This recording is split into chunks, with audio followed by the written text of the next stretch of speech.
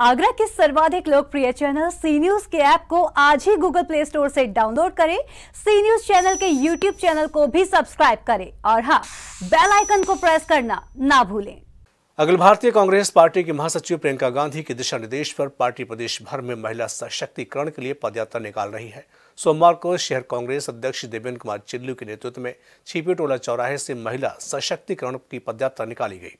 देखिए पूरी यात्राओं का उद्देश्य है हमारी उत्तर प्रदेश की प्रभारी और कांग्रेस पार्टी की राष्ट्रीय महासचिव श्रीमती प्रियंका गांधी जी ने महिलाओं के लिए जिस तरीके से घोषणाएँ की हैं, जिस तरीके से 40 परसेंट उन्होंने टिकटों के लिए वायदा किया है, नौकरियों में वायदा किया है 40 परसेंट का और लैपटॉप बांटने का, स्कूटी बांटने का, अब उसकी, प्रियंका जी की बात को देखते हुए भी आपने देखा होगा आज के अखबार में योगी जी मजबूर हो गए, अब योगी योगी जी भी लैपटॉप और और अन्य सामग्री बांटने पे आ गए हैं। जिस तरीके से आज उत्तर प्रदेश में जनता बदलाव चाहती है, उस तरीके से प्रियंका जी ने ये संदेश देने के लिए आज ये यात्रा निकालने का निर्देश दिया। मैं तो ये चाहूँगी, मैं तो सभी बहनों से ये चाहूँगी घर घर निकल जाओ, एक यात्रा से हमारा काम नहीं चलेगा, क्योंकि हमारी बहनें ही सबसे ज़्यादा दुखी हैं।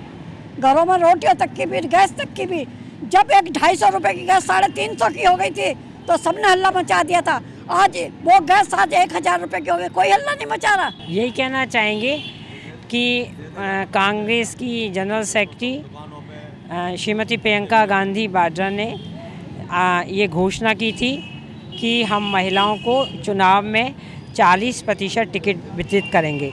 आज मुझे लगता है कि विपक्ष के रूप में कांग्रेस का जो इतना बड़ा ऐलान है उसको सारी पार्टियाँ कहीं ना कहीं विचार करके वो खुद भी आगे बढ़ रही हैं। मैं ये कहना चाहूँगी जो महिलाओं को अब जो सम्मान मिला हुआ है और जो 40 परसेंट प्रियंका गांधी ने दिया है वो बहुत अच्छा काम किया है। ये सबसे पहले सम्मान जो हमें मिला था वो इंदिरा गांधी के टाइम पे मिला था और अब ये प्रियंका जी ने किया है। तो हमें ऐसा लगता है हमारे देश को एक दोबारा से फिर से इंदिरा गांधी मिल गई है। मैं कहना चाहूँगी कि हमारी प्रियंका जी का एक ही नारा है। मैं लड़की हूँ, लड़ सकती हूँ।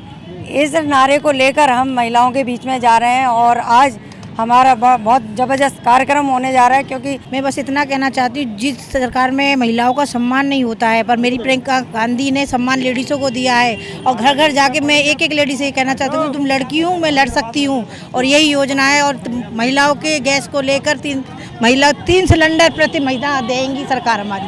आज देश प्रदेश में जो हाहाकार है, बेरोजगारी को लेकर, महँगाई को लेकर, उस पर काफ़ी दिन से कांग्रेस एक बड़ा आंदोलन चला रही है और प्रियंका गांधी के नेतृत्व में, राहुल गांधी के नेतृत्व में आंदोलन चल रहा है और आज 20 तारीख को प्रियंका गांधी के नेतृत्व में महिला सशक्तिकरण के ऊपर एक जुलूस निकाला जा रहा है।